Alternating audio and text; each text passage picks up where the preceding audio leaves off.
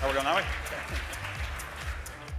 All right. Next up, please welcome Valor Water Analytics, uh, presenting are Christine E. Boyle, PhD, and Renee Jutras.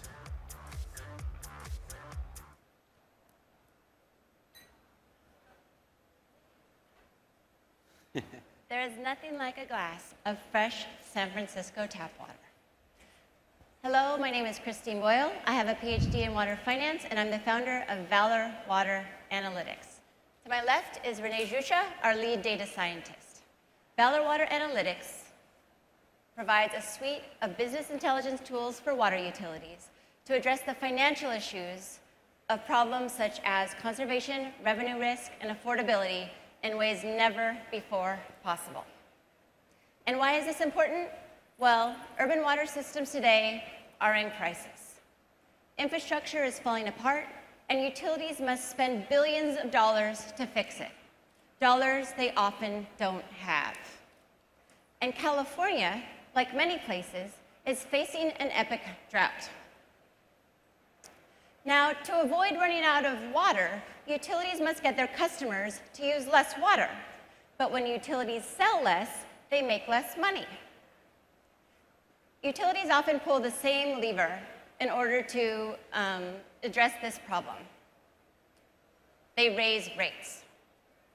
Customer anger over, in a utility we work with in North Carolina, customer anger over rate hikes was all too common. But utilities aren't the bad guys. They simply don't know their full range of solutions. Some utilities, to, to develop their financial plans, utilities rely on outmoded systems, um, and sometimes they'll bring in a consultant every five years in order to analyze their revenue. With one utility we work with, they use Excel spreadsheets to analyze over 1 million billing records annually. But utilities have a valuable asset at their fingertips, their data. Valor Water Analytics is a subscription-based software as a service product that uh, puts data into the hands of the water utilities and allows them to solve financial problems such as the revenue impacts of conservation. We provide an interactive portal so water utility managers can dig deep into their data in, order to monitor their revenue, plan for the future, and track the changing patterns of water use and their revenue impacts.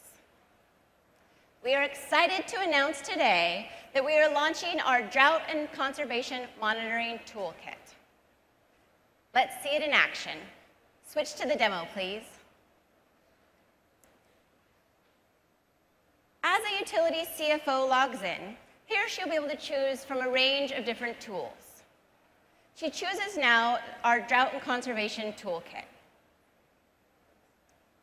Let's take a walk in her shoes. She is now viewing over 3 million billing records in one dashboard. She notices first that residential customers are the majority water user, so she clicks closer to look at residential. She sees then that the peaks and valleys that were so evident in early years have gotten smaller during the drought period, which is in the yellow, the yellow shaded area. She notices then that actually residential water use during the drought has declined by 6%. Now, 6% might not seem like a lot, but 6% represents a dramatic decline in use. She then wants to know, so how much is this 6% water loss costing my utility?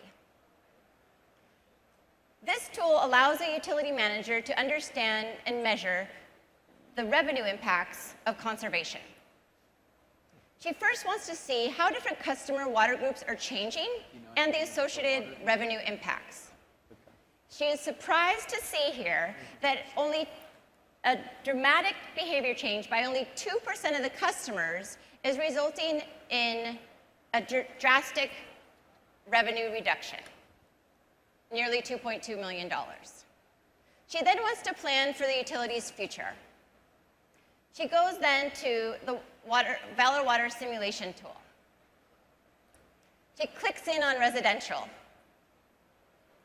Here, the CFO is, thinking, is trying to plan the future because in order to be in compliance with California's current emergency drought plan, which calls for a 20% decrease in water. So she models decreased use by 20%.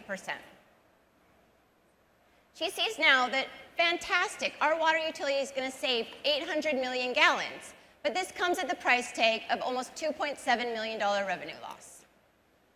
She then is, can create a drought reserve fund in order to help the utility stabilize its revenue during this period.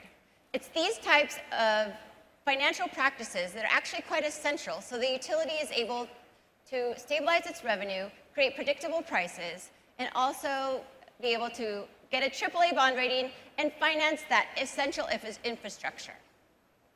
Switch back to slides, please. Okay, let's move. So this is one tool we have. We actually have four business intelligence products and over 25 proprietary analytics. We're pleased to announce today, oh, we're also utility tested and have worked with 15 utilities in North Carolina uh, over the last few years, piloting this technology. We are pleased to announce today that we're on the ground in California and have inked a deal with Sonoma County Water Agency. We also are excited to announce our partnership with Esri. Esri is in the hands of over 10,000 water utilities and will allow us to expand our, our analytics and also sell directly to more utility, over 10,000 utilities nationwide. We're at an inflection point here, everybody. Water utilities simply cannot operate in a business as usual. The climate and infrastructure challenges are just too great. We put analytics in the hands of water utilities to allow them to make smarter decisions. So please go to valorwater.com to get involved. Thank you. All right. So, what is your background? My background is um, I have a doctorate in water finance. Um, in the 90s, the first and then before that, um, I, in the late 90s, I worked in um, that other bubble, the, the, bubble that went down and was an operations manager for a um, e-commerce firm in New York. And then later on, I went to grad school. Yeah. And uh, how long is the sales cycle for a customer?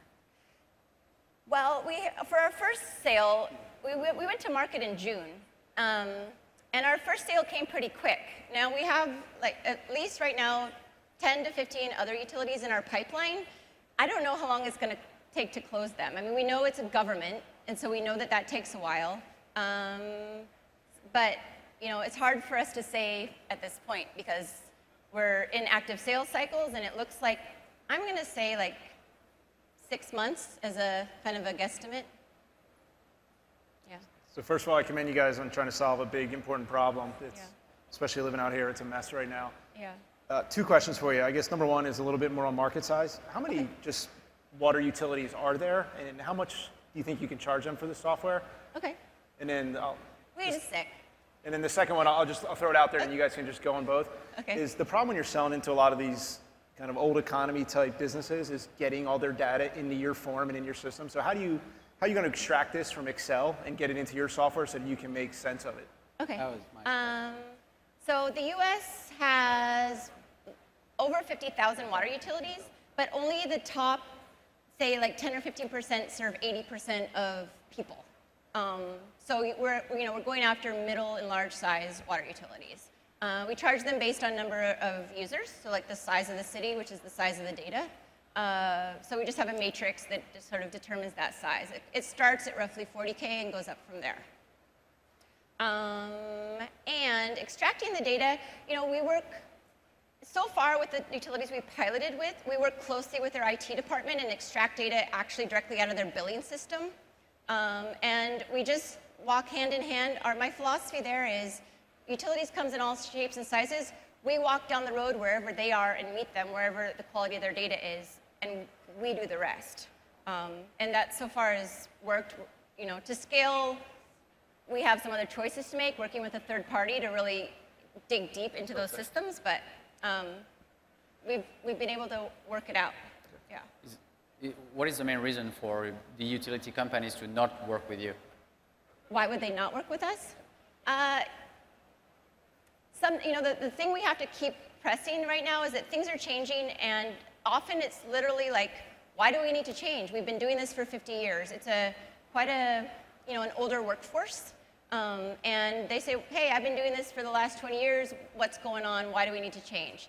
Well, for those that are you know coming coming up in it, things are changing, and we need to push and everyone's pushing to get them to um, kind of adopt new solutions because yesterday's solutions aren't working today. So do, do you have to spearhead a movement, or how, how do you elevate the, the, the debate, or Well, right now what we're doing is, you know, I'm, I'm very involved with the industry associations. I'm the, um, I'm the chair of the Industry Financial Management Committee, so I'm very kind of in the weeds with everyone. And um, what we're doing is, I, you know, we're kind of working with the coalition of the willing first, the progressives, the people I know that are, the utilities that are innovating and progressive and love technology.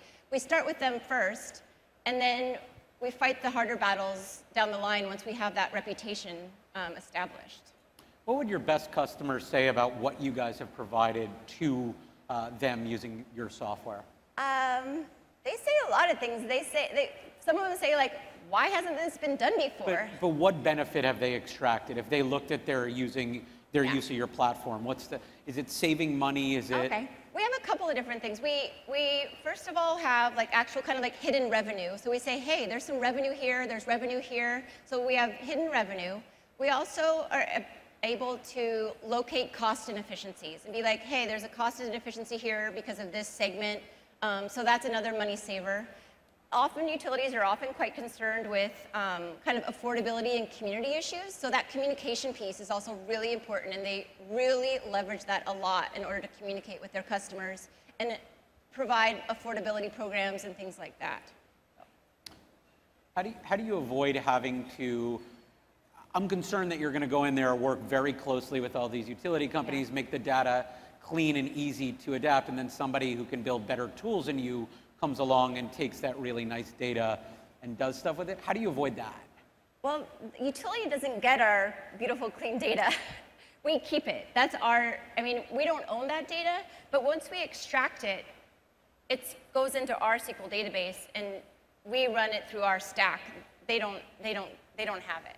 So, Cool. yeah. So we're out of time. You guys did a great job. This was Valor Water Analy- Analytics. Our stuff. Thank you guys very